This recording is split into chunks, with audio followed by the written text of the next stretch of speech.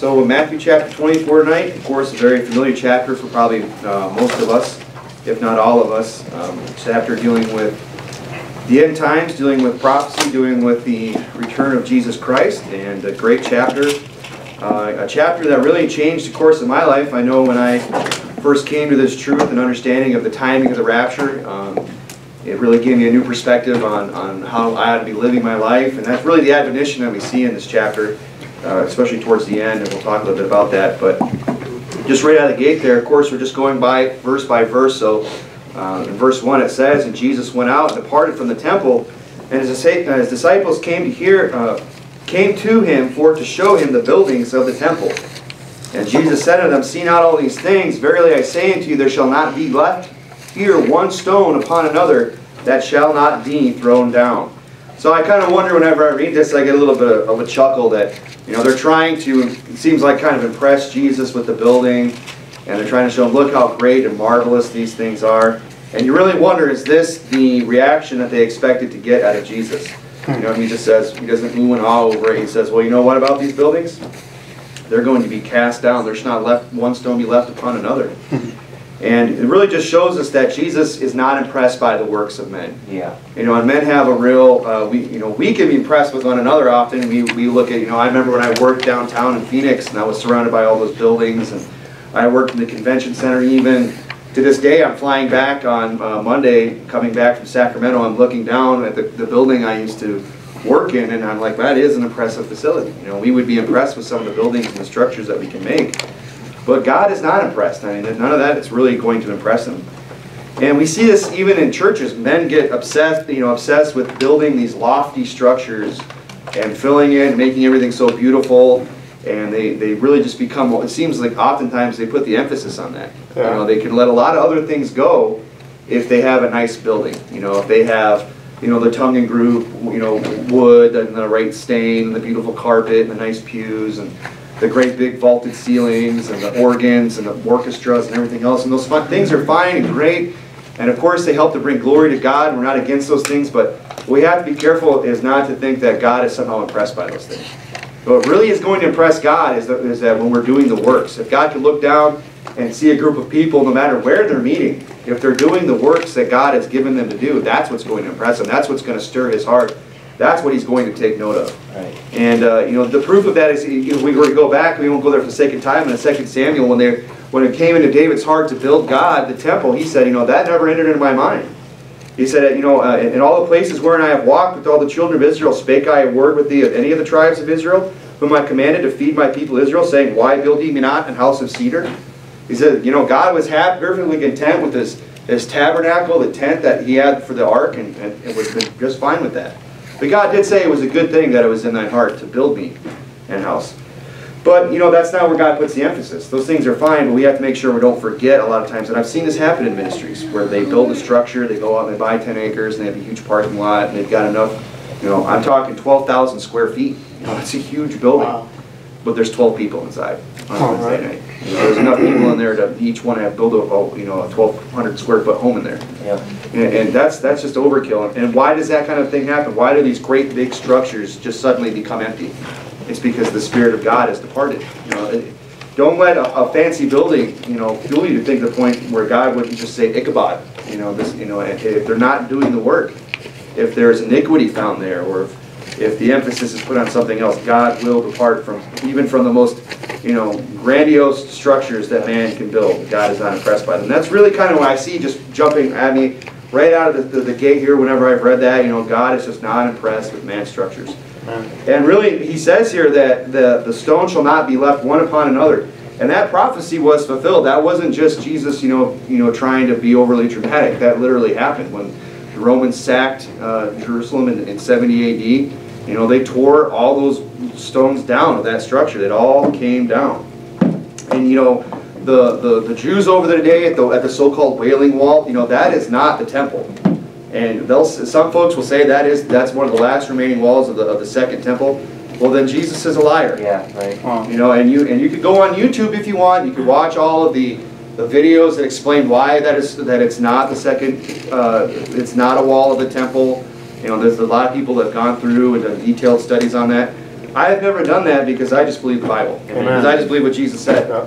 You know, I believe that what Jesus said came to pass when, when that happened is that, uh, you know, when they sacked uh, uh, Jerusalem in 70 AD, it happened just like he said it would. They took down every stone, and there's not one left upon another even to this day. So that wall is a fraud over there today. But we don't want to spend a lot of time that out there. There's a lot of meat in this, in this chapter we need to get into. And it says here in verse 3, And as he sat upon the Mount of Olives, the disciples came unto him privately, saying, Tell us, when shall these things be? And what shall be the sign of thy coming and of the end of the world? And Jesus answered and said unto them, Take heed that man, no man deceive you. So it's interesting that before Jesus even begins to give an answer, he gives a word of warning first. He says, Look, before I even begin to answer your questions, before I even begin to explain to you when the end of the, uh, one of these things shall be, the first thing you need to understand is to be take heed and let no man deceive you. And what that should tell us is that there's going to be a lot of false teaching on this. Right. And he said, "Be- beware that no man uh, teach you or deceive you. You know, take heed. That's something that we have to be on guard about. And, and we see it today, eh, especially in American churches, where this pre, this false doctrine, and it is a false doctrine of the pre-trib rapture, has just, it is the popular doctrine. Right. I mean, it has taken over churches. I mean, people, there are whole books being written about it. Everybody, the vast majority of Christians that I know in America believe this. But that's not to say that there aren't people out there that, that reject it. There are. There's plenty of them. And we're not saying, you know, here's the thing, we get accused of, oh, this is some doctrine that, you know, we made up as a church. So, you know, Pastor Anderson got, made it cook this up. This is a doctrine that's been believed by Christians since the days of Jesus Christ and, and prior to that. This is a very, there's millions of people that believe Right. in a post, uh, a pre, uh, excuse me, post-trib, pre-wrath rapture. Yeah. And, uh, you know, but there's so many just false doctrines that go around. There's so many twisted, you know, teachings that about this, uh, the return of Christ. And, and, and, and really, the pre-trib one is probably the one we're most familiar with. And really, the difficult thing about the pre-trib rapture is that you have to understand what they believe before you can really debunk it. And a lot of pre-trib people, they don't even understand exactly. It's- you know, I've heard it said you have to teach them what they believe before you can debunk it because they don't even understand fully what they believe. Now, and I'll say that's true because I went to a church where the pre-trib rapture was taught.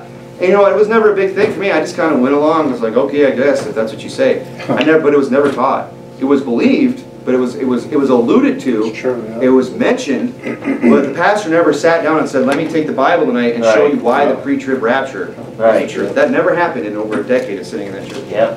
Because they can't. I remember the one time you went through the book of Revelation with a pre-trib view. It was the most confusing, garbage mess Right. I've ever heard. And they can't, you know, it just messes everything up. You get one little thing wrong in doctrine and it just, everything else starts to fall apart. And that's the way it is with the uh, pre-trib rapture. So Jesus warns us is, you know, not to let any man deceive you. And a lot of people today, unfortunately, have been deceived.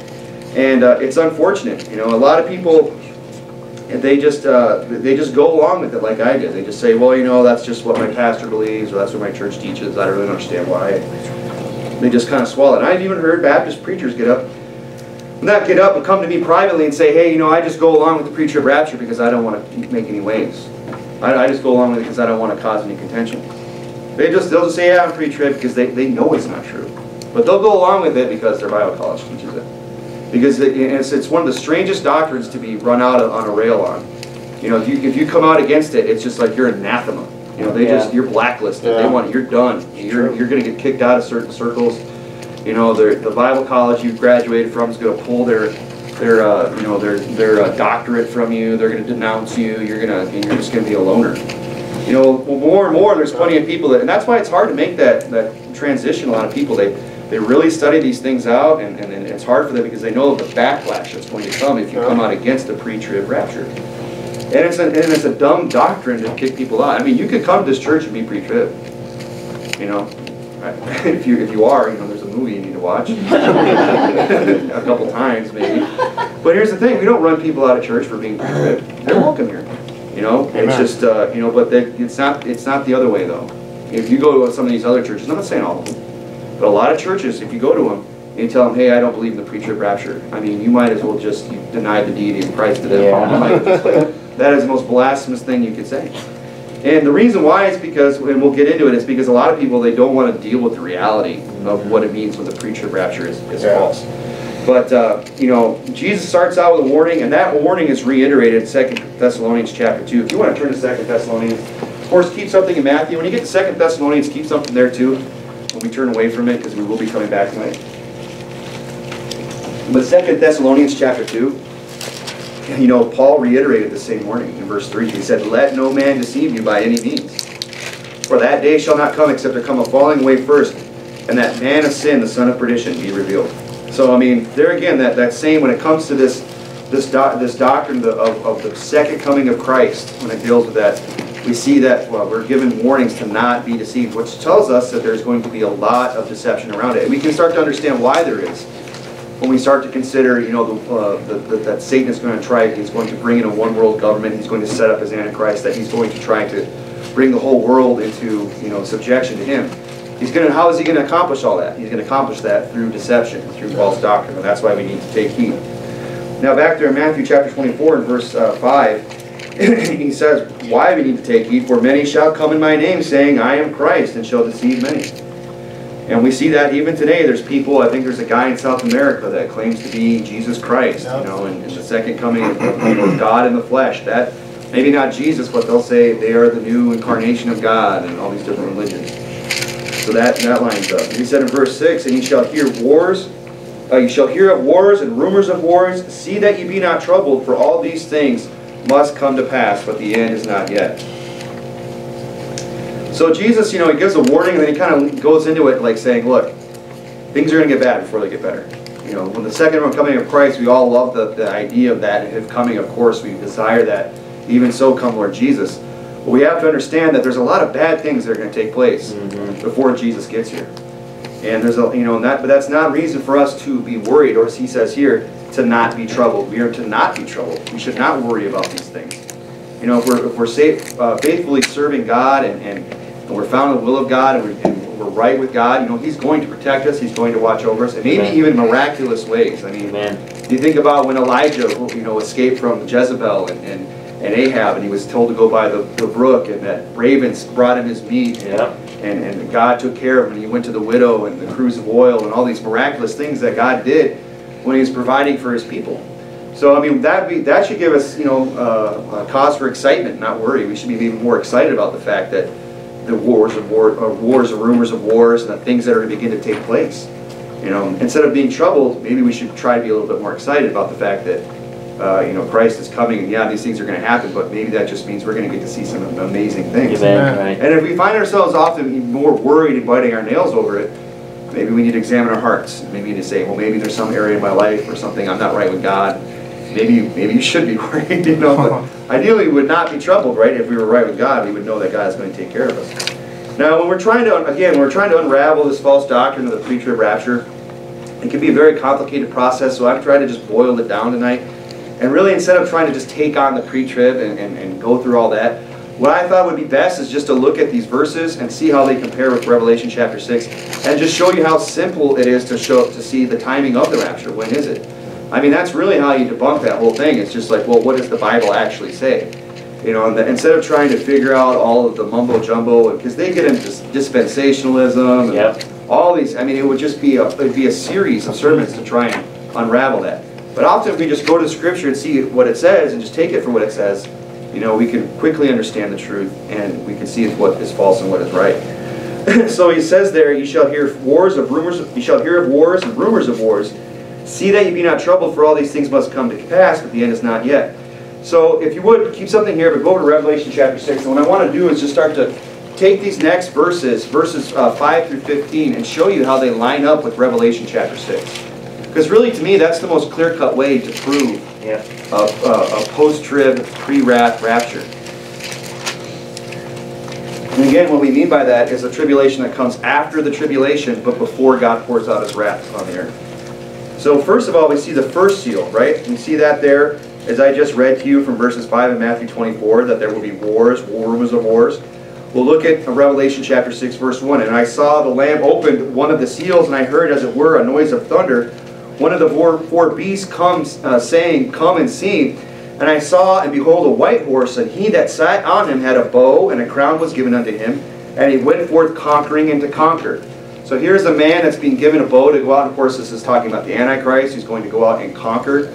So this is your wars and rumors of wars, right? Now look at uh, Matthew, if you, you have to kind of flip back and forth with me tonight. So we'll look at the second seal. Look at uh, uh, Matthew chapter 24. Look at verse 2.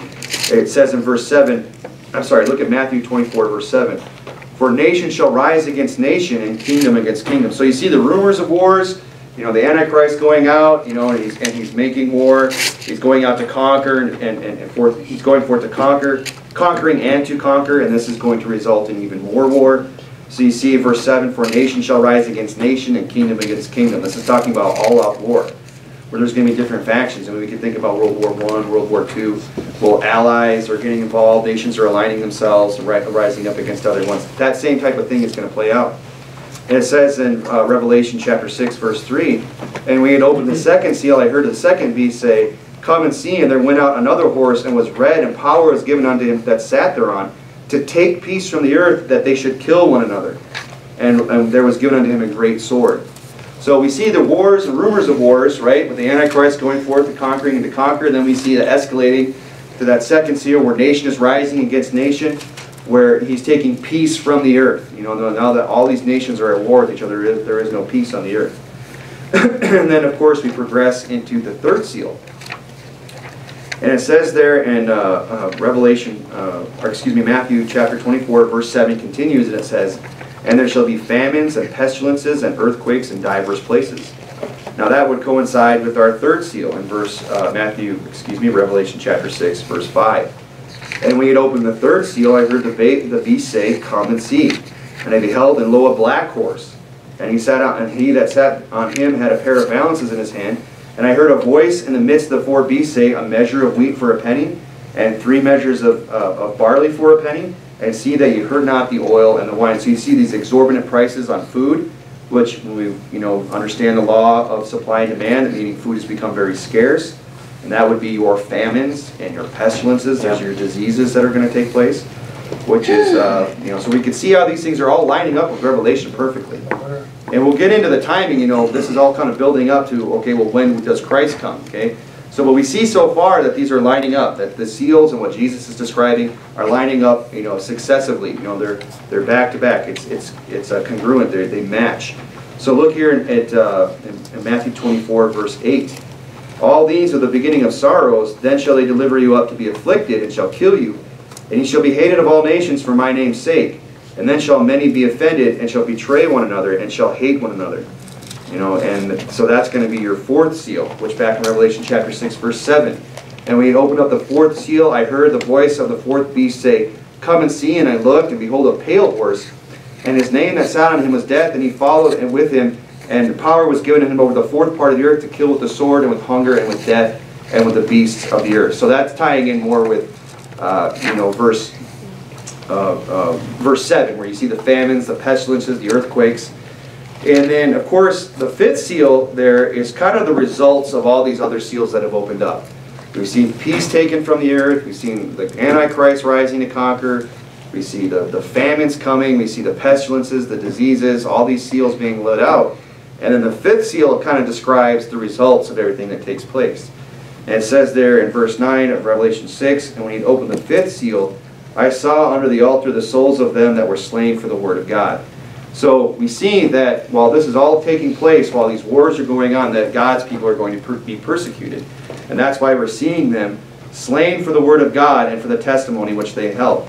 And of course, that's tying in, in again with exactly with what Jesus said there in, in Matthew chapter 24, where he said, They shall deliver you up to be afflicted, and they shall kill you, and you shall be hated of all nations for my name's sake. Right.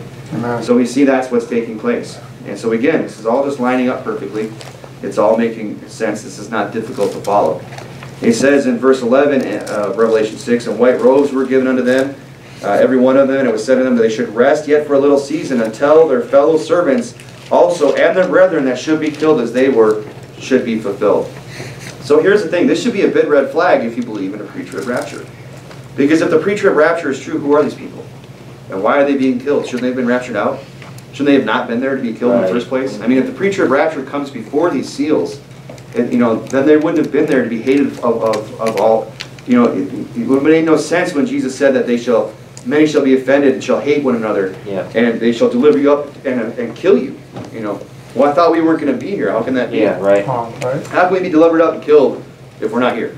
So, you know, th- it doesn't make any sense, but we do see uh, how it's lining up with what Jesus said, and we're going to see here in a minute Amen. how it lines up with the fact that Jesus comes after the tribulation. So it goes on in verse 11 of Matthew 24, and many false prophets shall arise and deceive many.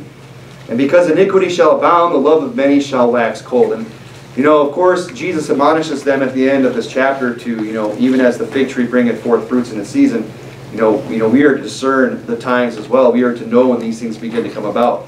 And he likens uh, also elsewhere that it is like the birth pains of a, of a woman when a woman is about to be delivered of a child, that, you know, she goes through those labor pains. And that's a lot of what the end of the world is going to be like. It's not all it's not going to all come at once, but we will see things begin to build up. And we will start to see signs. You know, we'll start to see these things with uh, maybe not on the grand on that scale that's going to take place, but we can see how things are going to escalate. You know, and this is one of them. When you when you read there, he says, uh, "The iniquity shall abound, and the love of many shall wax cold." And and boy, if that isn't the truth today, Amen. I mean, we just see iniquity beginning to abound. I mean, we're sitting around here talking tonight before the service about, you know, Pastor Grayson Fritts is on the news out there, and the, and the, and the, the, the fags are just raging right now uh, against him in the Massa conference. And it's Pride Month, you know, we've got rainbows everywhere, and they're out and they're proud, and they're, you know, they got their cartoons with their their, their fag uh, characters in it now. Huh. You know, it's iniquity. You know, Yeah. it's abomination, and, and the world is embracing it. And what do we see as a result? That the love of many is waxing cold. Right. Oh, they love one another, but they hate God's people. And they hate the Word of God. They hate uh, truth and righteousness. So we can see how these things will escalate. And I don't want to go off a rabbit trail there. I'm trying to kind of keep the flow with this one. But it, it says there in verse 15, When you therefore shall see the abomination of desolation, spoken by Daniel the prophet, stand in the holy, post, holy place, whoso readeth, let him understand. Then let them which be in Judea flee into the mountains. Let them, uh, let him which is on the housetop not come down to take anything out of his house. Neither let him which is in the field return back to take his clothes. And woe unto them that are with child, and to them that give suck in those days. But pray that your flight not be in the winter, neither on the Sabbath day. And I've heard somebody say, well, why is it the Sabbath day if we don't observe the Sabbath? Why is he even mention that? Because you have to understand that this is a dual prophecy that Jesus is giving here. He's talking not about only the end of the world, but he's also talking about when, when not one stone shall be left upon another. The day when they come to sack, you know, when the, when the Romans were going to come and, and destroy Jerusalem. So that they did have the Sabbath day then, right? So that's part, you have to kind of understand sometimes that there's a dual prophecy being given here. And that's why the Sabbath day is brought up. You know, for us, we would probably be more concerned about winter. Well, not us, because we're in Tucson, but, you know, we'd be like, winter, yay, it's perfect time for tribulation, you know? You know, don't bring in the summer, Lord. But, uh, you know, he's just kind of, that's why that's there. That's why the Sabbath is brought up. and he says, uh, and then it says in verse 21, For then shall be great tribu- tribulation, such as was not since the beginning of the world to this time, no, nor ever shall be. I mean, this is why it's so important that we're not dece- deceived on this. This is why it's so important that we have an understanding of, of when Jesus is truly coming back. Because if we don't, we're not going to be ready for that. And there's going to be a lot of people that are going to be caught off guard. They're going to be discouraged. They're going to be downhearted. They're not going to know what's going on. They're going to be deceived. And, you know, they're not going to have any hope. And they're going to go through one of the worst times on, to live on the face of this earth for mankind. And, uh, you know, but we shouldn't have that. You know, we should watch and pray and understand these things. And he says in verse 22, And except those days shall be shortened, there shall no flesh be saved, but for the elect's sake there sh- those days shall be shortened. I mean, no flesh shall be saved. I mean, he makes it sound as if, you know, mankind would just destroy itself. And of course, we can see how that's possible today. I mean, with the nuclear arms and things like that, and the, and the all the uh, different uh, methods of waging war today, how men could really, we could just wipe each other out very easily. You can't read that verse without pointing out it says there, um, except those days should be short, there should no flesh be saved. And well, I, I'm thinking of a different verse, so it'll come up later. So, but he does say there, but for the elect's sake, those days shall be short. Now, this is kind of one of those points where the pre-tribbers will say, aha, see, all this is referring to the Jews. And that's what this, uh, you know, the tribulation is for the Jews. That's why it says for the elect's sake. We're going to be taken out of here. And everything that's taking place, and all these people that are under the altar crying about the fact that they've been killed and they're being delivered up, and men are hating them for his sake, it's because those are the Jews that are getting saved.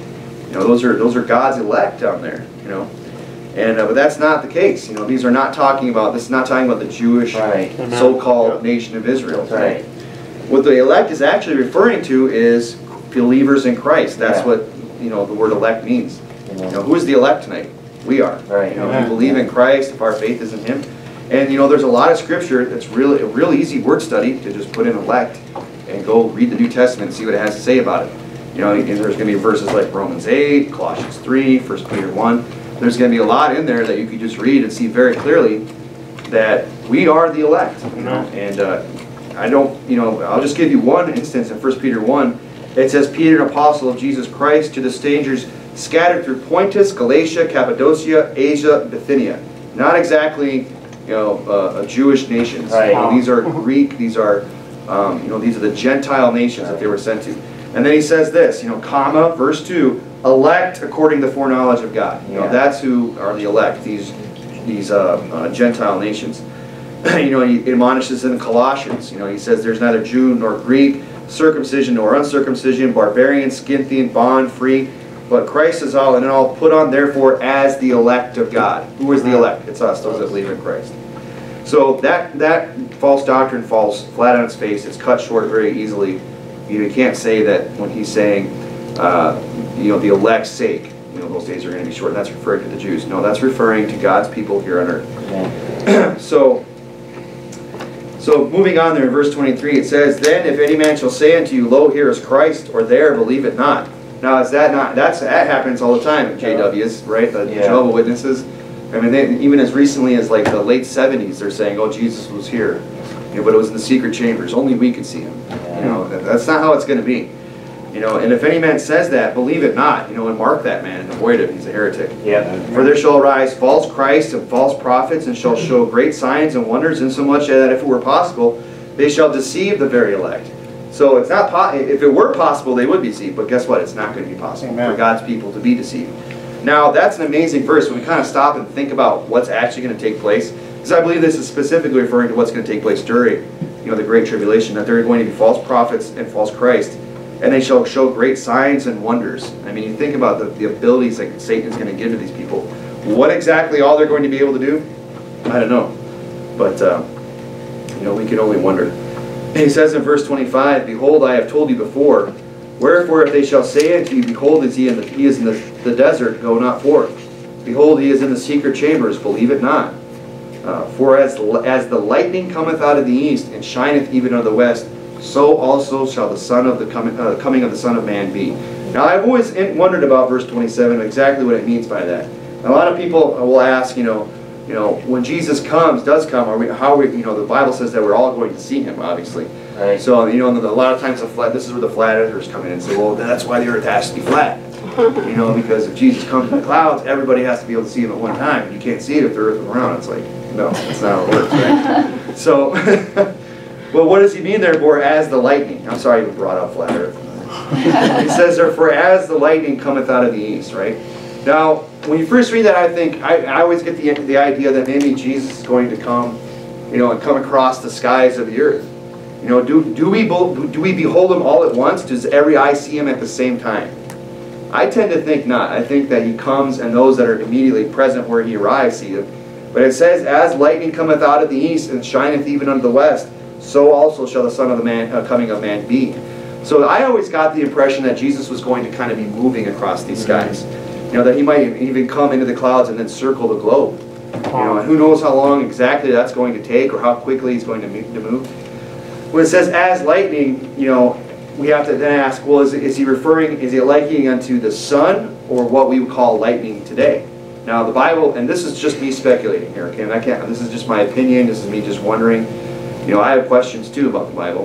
And it says here, the Bible uses lightning as we would understand it today. You know, there's a lot of verses, if you go look up lightning, it means like a thunderbolt. But the way he uses it here in this verse, uh, lightning cometh out of the east, east and shineth unto the west, right? It kind of sounds like the sun, uh, like like the sun, how the sun would move. Uh, And so that's kind of what got me thinking about. Well, maybe it means you know he's going to move across the skies, or Oh. maybe he stays stationary and the earth turns underneath him, and, and everyone gets a chance to see him. It's interesting how how exactly is he going to come? You know, we see through a glass darkly. We don't understand. But one thing we do know is that he's coming. Amen. And that's really what matters. Now, exactly how that's all going to play out, we don't know, but it's, it's kind of fun to kind of think about those things and, and, and wonder about it. But I believe that maybe, you know, he'll slowly dawn on people over the course, you know, of a certain amount of time. I don't, I don't know exactly. Maybe he moves across the skies, maybe we move underneath him. I'm not sure, but we, what we do know is that um, everyone's going to see him. Right. And really what this also demolishes is this idea of uh, a secret rapture. Yeah. You know, that God, that he's going to come and people are just going to disappear and, and no one's going to be explained why. Yeah. You know, they're going to think, oh, it's aliens. Or they're going to say, you know, there's just this pile of clothes here. And, and where do these people go? Planes are falling out of the sky and all this stuff like that. Well, first of all, do you really think there's that many born again people? Like, like there's people just, you know, the whole world system's going to shut down? No. People are going to be running for the hills. People are going to be freaking out. They're not going to be, you know, wondering about these things. But here's the thing: they're going to know what happened. They're going to know it had something to do with the lightning shining out of the east and even out of the west.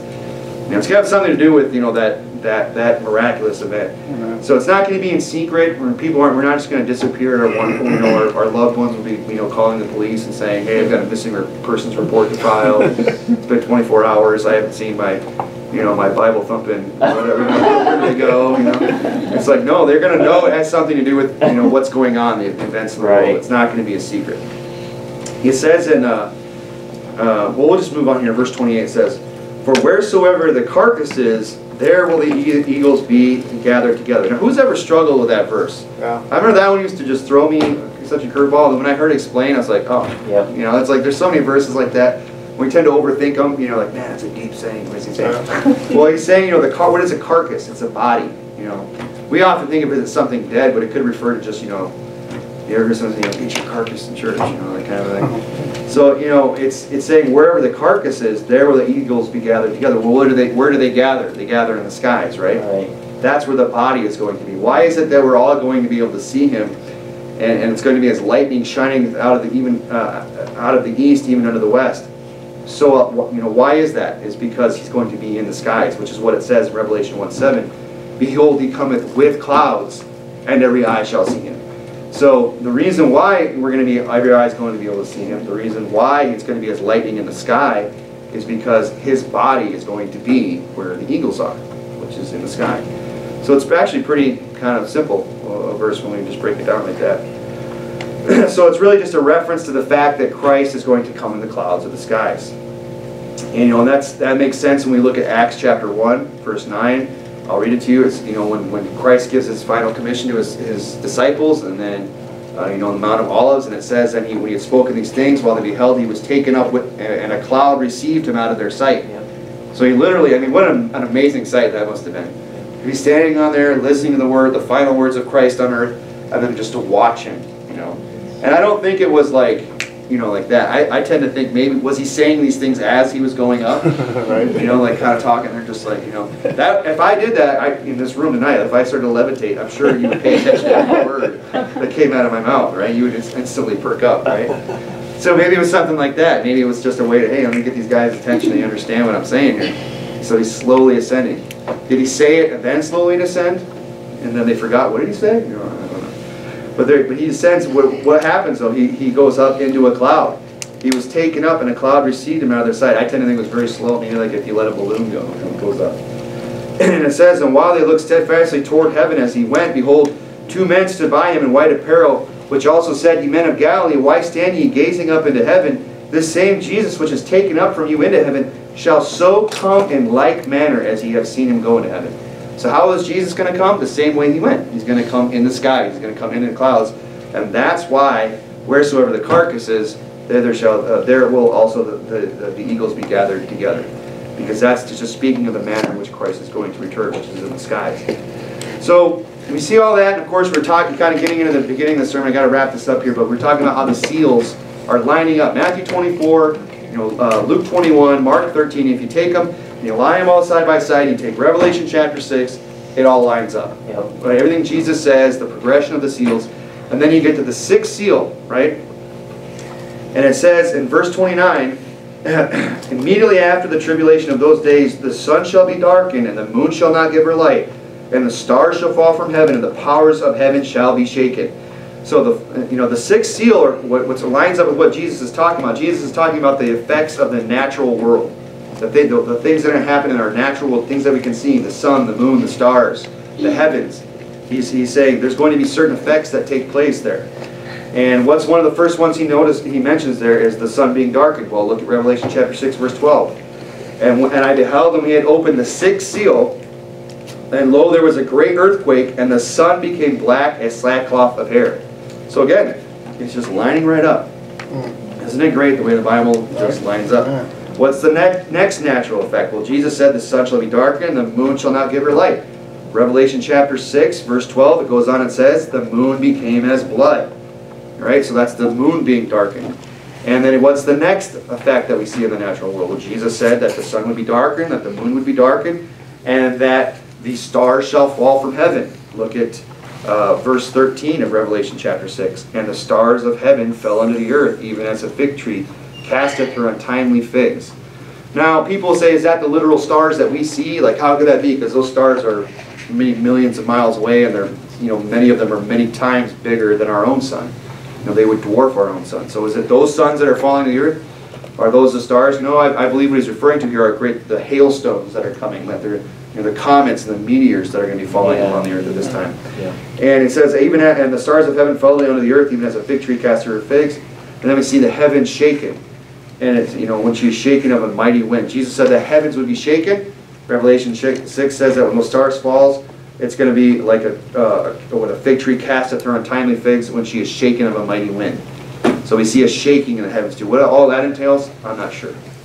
then, then of course, uh, so we notice all these natural effects taking place in the sixth seal, all lining up with what Jesus has said. Now the important thing to notice about all this, all these seals and the way they line up with what Jesus said is the timing of everything. Notice when these specific events take place. When is the sun darkened? When is the moon darkened? When do the stars fall? When does that happen? Well, look at Matthew chapter 24, verse 29. It says there immediately after the tribulation of those days. That's when verse 6 happens, or verse uh, the sixth seal is open. It's after the tribulation. I mean, that's the great thing about having the position of being, uh, you know, uh, uh, having a post-trib, pre-wrath rapture, is that we have a clear verse Yeah. that says after the tribulation of those days, right? And it goes on to explain the second coming of Christ. The pre-trib crowd doesn't have that. Right. They can never turn you to a clear verse and say, before the tribulation. They can't do that. What they have is a lot of mental acrobatics. They have a lot of twisting and wresting of Scripture. They have a lot of dispensationalism that they'll draw on. I mean, there's that's why the pre-trib crowd so often goes to the to the rucktard to get them have them explain it because the Yeah. rucktards have this elaborate, just over the top, just way of trying to explain the Right. pre-trib rapture. Even so much so that those that have, uh, you know, wouldn't necessarily call themselves dispensationalists, but have bought into the lie, they have, they can't explain it, of the, of the pre-trib rapture. They bought into that lie. They can't explain it, they just believe it, but they need somebody else to explain it to them. Yeah. I mean, could, have I explained anything tonight that you couldn't have just picked up on your own Bible reading? Oh. I mean, I've met people in churches like this, and you know, in our own church, in other churches, they came to this realization long before they ever heard of Pastor Anderson. Long before the, the film After the Tribulation was even, even made. You know how they got there? They read their Bible. Right. They picked it up, they read those words after the tribulation. And it, it just makes sense. And they sat down with a friend and they studied out for themselves. They compared uh, the scripture with scripture and said, yeah, the pre-trib rapture is a lie. The pre-trib rapture has no clear verse to stand on. None. Not one single verse. They have a lot of just twisting and just a lot of, uh, you know, just false doctrine that they stand on. You know, they have the notes of Scor, uh, not Scor, I keep dogging Scorby like that. I can't do that. What's that other guy? Scofield. Scofield. It's that SC in the beginning, Yeah. isn't it, right? anyway. So that's when these events happen, after the tribulation of those days. So these events happen after the tribulation, and what happens after that? What happens after the sun and moon are darkened? You have the tribulation, you have these, uh, these profound, you know, just amazing events taking place, the sun not giving its light, the moon not giving its light, stars falling from heaven, the heavens being shaken, you know, being rolled back as a scroll and, and elsewhere. And, and what happens after that? We have the second coming of Christ. Look there in verse 30. It says, And then, then shall appear the sign of the Son of Man in heaven. And then shall all the tribes of the earth mourn. and They shall see the Son of Man coming in the clouds of heaven with power and great glory. And he shall send forth his angels with a great sound of a trumpet, and they shall gather his elect from the four winds, from one end of heaven to the other. So that happens after the six, the sixth seal is open, which happens after the tribulation that we read about. And if that is not a perfect description there in verse 31 of him sending forth his angels with the great sound of a trumpet, right? And they shall gather together his elect from the four winds. That sounds like the rapture to me. I mean, what is that if that's not it? Yeah. Right? Is that a second rapture? You know, you talk to some of these dispensationalists, they'll tell you there's like seven different raptures. They have all this just convoluted, confusing way of trying to explain things. And you know what's what's dangerous about it is you have to go to them for Yeah. them to explain. it. You have to go read Peter Ruckman's book to get an idea of what they're talking about. You got to go read some other man's writings. You know, I remember when we first came to this truth and we tried to share it with somebody, and and, and, said, and we were just showing them what the Bible says and just explaining them. This is hey, look, it all lines up. They, they just got frantic at one point. They're just literally like this, just like this can't be true, like that much. I'm not an actor. This is like no, no, this just can't be true.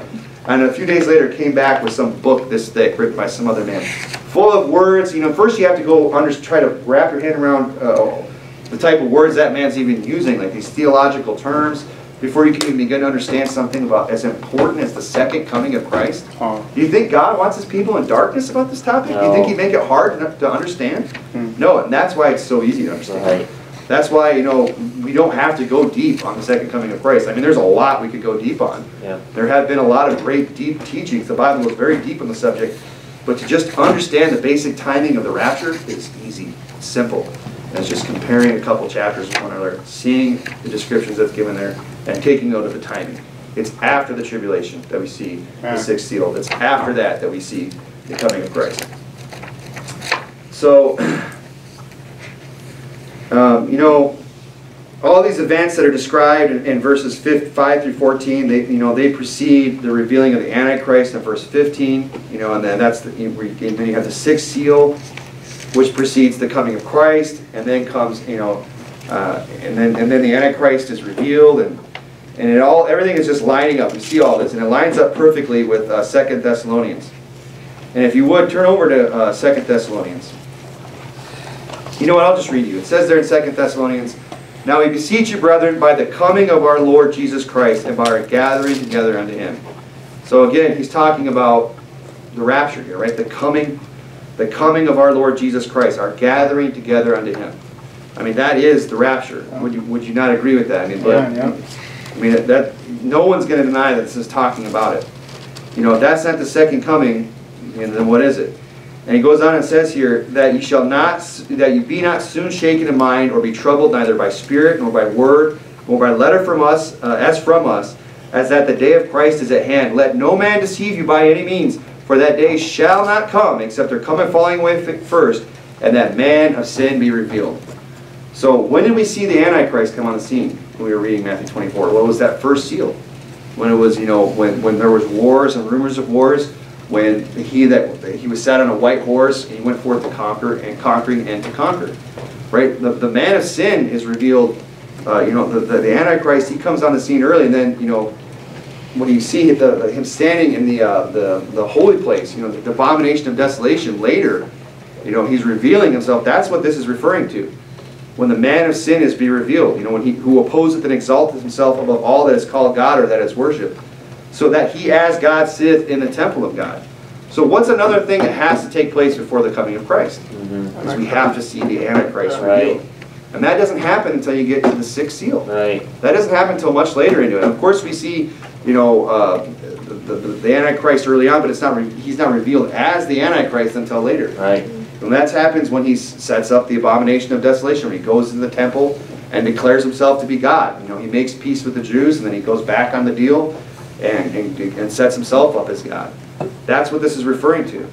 You know, the Bible is telling us very clearly in verse 3 that day shall not come. What day is it referring to? The day of Christ, the day when, when he's going to come and, re, and, and, and to and to receive us unto him. You know, the rapture, that's what it's referring to. Except uh, that day shall not come except there come a falling away first, and that man of sin be revealed. Long before, you know, that that verse has always been the one that stuck. And that was the first verse that I when I read that, I was like, man, are you sure it's pre-trib? Because that doesn't sound like it. And I brought it up, that same pre-trib preacher who said, I just go along with the pre-trib to not make waves with people. I said, well, what about that verse? It sounds like, I said, it sure sounds like, you know, the, the Antichrist comes first and then Jesus. He said, it sure does. Huh. That's all I said. And I just left it at that. I just went on his merry way being pre-trib. You know, or at least, in, in- at least giving the, uh, letting everyone think he was pre-trib. I tend to think he wasn't, you know, Yeah. he wasn't a dummy. So anyway, he blew the Trinity, you're not a dummy. Although, I mean, uh, that might explain it, right? It's the fluoride working.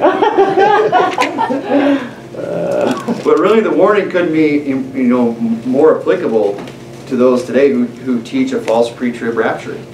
You know, that we should not be deceived by these people. You know, there's a lot of people out there preaching this. And, uh, you know, very quickly, I know I'm kind of going over here, so I'm, I'm trying to rush, and that's why, you know, it's kind of getting choppy here. But look at verse 32, it says, Now learn a parable of the fig tree, when the branch is yet tender and putteth forth leaves, you know that summer is nigh. So likewise ye, when ye shall see all these things, know that it is near, even at the doors. Verily I say unto you, this generation shall not pass till all these things be fulfilled. Now he's not talking about the generation he's talking to. He's not saying, they, you know, these things are going to come to pass before, you know, my 12 disciples die. He's saying, Right. the generation that these things come upon, that, you know, it's going to happen in their lifetime. That's what that means. Yeah. He says, Heaven and earth shall pass away, but my word shall not pass away. But of the hour, a day and hour knoweth no man. They'll say, well, you go, you know, you guys are saying you can tell when the rapture's coming. No, we're not saying we can tell. He's saying you can't, you know, the Bible says you can't know. It says you can't know the day and hour. But Jesus here is specifically, you know, exhorting people to pay attention and to understand Yeah. that it is even, to know when it is at the doors. Yeah. That there are going to be a group of people are going to see this Son of Man revealed and say, okay, we don't know the day and hour, probably because they're going to be in the midst of it. You know, it's kind of hard to keep track of time when you're in the Great Tribulation. I don't know that cell phones are going to be working. You know, you're probably not going to be, you're probably going to be more worried about trying to keep your head on your shoulders than, you know, keep track of oh. days and, you know, you know, where we're at on the calendar. But you're not going to be able to, so sitting down and counting isn't going to be a thing and trying to do all the math and figure all that out. He's simply saying you won't know the day and hour. That's not to say we can't know when these things become, uh, begin to come to pass. And he even gives us some clues here in this chapter. He starts to look, these are the type of things that are going to take place. And he says, as the days of Noe were, so also shall the Son of man be, man, coming of man be. Whereas in the days of the, uh, before the flood, they were eating and drinking, marrying and giving marriage, eat until the day that Noah, Noah entered into the ark, and knew not until the flood came and took them all away. So also, so, so shall also the Son of uh, coming of the Son of Man be. Then shall two be in the field, the one left be one be taken, the other left. Two men shall be grinding at the mill, the one shall be taken, the other left. Watch therefore. Now, why, why, if it's pre-trib, why do we need to watch? There's no need to watch. You know, Jesus could come at any moment. You can't watch for that. You know, he's saying, watch. You know, pay attention to things that are taking place. Look for, you know, when, when these things start to take place. Look, it's going to come upon some people as a thief in the night, but ye are not of, uh, of the darkness, but you are the light.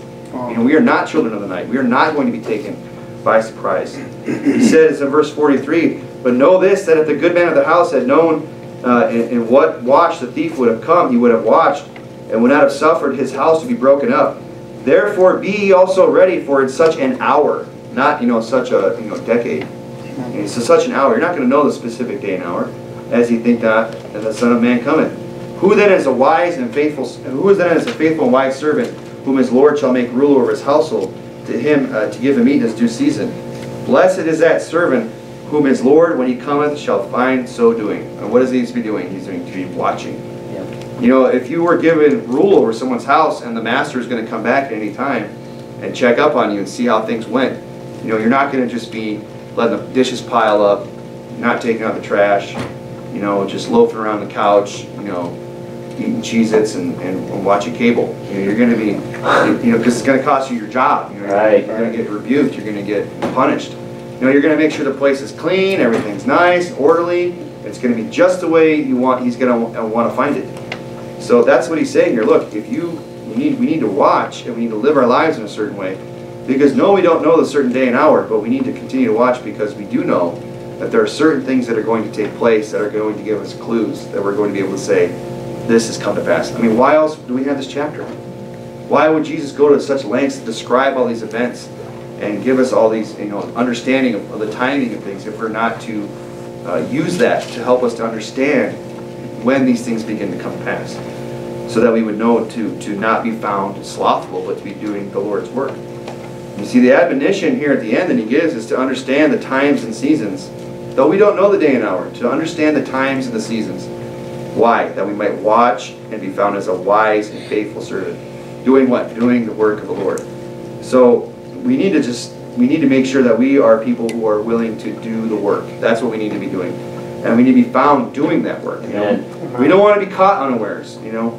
And, uh, you know, that's the admonition here tonight. And, and for sake of time, we're just going to kind of end it there. But I did want to at least get to that point because there has to be some practical application here for our lives. I mean, it's great to understand and know the, the, the timing of the, of the rapture and when Jesus is coming and when he isn't. But really, we have to understand something is that, you know, there is a, a time of tribulation coming upon this earth. Right. And the whole pre-trib rapture, the, the reason why it's so popular is because people, Christians, they don't want to suffer any tribulation. And I have it here in my notes to go through it, but we don't have time. Of all the times that God in His Word has told us that we're going, that going through tribulation is the very nature of the Yeah. Christian Christian life. Yea, and all they that will live godly, uh, live godly Christ Jesus shall suffer persecution. Amen. That's He said in 1 Thessalonians 3 that no man should be moved by these afflictions, for ye yourselves know that we are appointed thereunto. Mhm. For verily when we were with you, we told you before that we should suffer, suffer tribulation, even as it came to pass. And that's why that pre-trib mentality is so popular. Is because they're like, oh, no, tri- no tribulation, sign me up. And that's why you know hard truths, the Word of God, are not being preached.